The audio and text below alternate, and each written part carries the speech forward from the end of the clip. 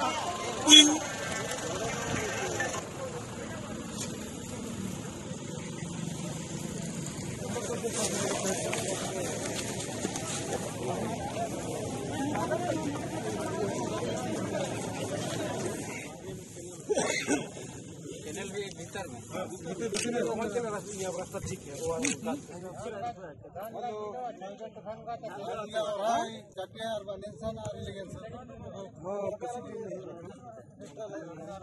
मामला है यहाँ 2015 से।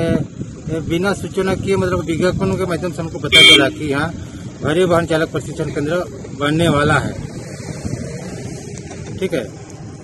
तो हम लोग विरोध किए पंद्रह में सात आठ दो हज़ार पंद्रह को विरोध किया था। तो जब हमने विरोध किया तो हमने सोचा कि इसमें हम लोग का विरोध सक्सेस हो गया। पंद्रह गया, पंद्रह सोलह, सत्रह, अठारह, उन्नीस उन्नीस खत्म जैसे कि रेगुलर सरकार जाने होता और हेमंत सरकार आने से पहले उस टाइम काम स्टार्ट हुआ। जब हम लोग बोले ये काम नहीं होना चाहिए तो हम लोग पर सीधा सीधा केस कर दिया। कितने लोगों पर केस किया? पाँच आदमी के नाम पर। जगह में पहले क्या था? खेती था। और उधर से हम लोग गोट टाणी मानते हैं।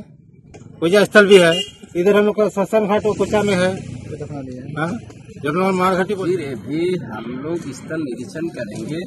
फिर निरीक्षण करने के बाद यहाँ का सीओ को हम लोग आदेश देंगे कि आप यहाँ का केनल है या और क्या ज़मीन सब है या खेती है कितना प्रभाव इनका पर हो रहा है सारा चीज़ को निकालना होगा ना। क्या जानकारी अभी तो, तो कोई नहीं बोल रहा है ग्राम सभा नहीं है।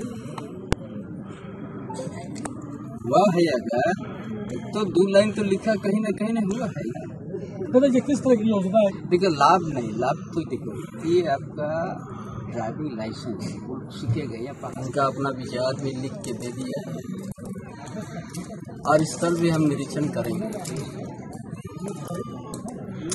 और योजना किस पे कहाँ पर कैसे होगा उसका भी हम विचार करेंगे। कोई बात यहीं पर एक विवाद या सामने आ जाता है तो उसी समय तो विचार करना पड़ता है। जब विवाद नहीं होता तो नहीं करते। क्या मालूम पड़ा था विरोध क्या है? विरोध उन लोग का ये कहना है कि उस जगह में आदिवासी लोग एक माघ बोंगा करते हैं। और माघ बोंगा हम लोग फरवरी महीना में करते हैं। दूसरी है कि ये जो काली पूजा के समय में हम लोग गोट पूजा करते हैं, ये बात सामने है। तो यहाँ का आज तो हम लोग स्थल निरीक्षण और यहाँ का कुछ विषय जानने के लिए हम लोग आए हैं। अब जानने के बाद फिर हम जिला के स्तर में एक बैठक बुलाएँगे, जिसमें प्रशासन रहेगा सब कोई रहेगा और यहाँ का ग्राम सभा का जो निर्णय है या विचार है, उन लोग से बैठ करके एक निर्णय लिया जाएगा कि किस रास्ता हम लोग निकालेंगे समाधान का?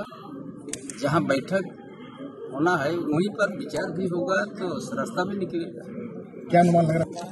आप विचार होने तो दीजिए।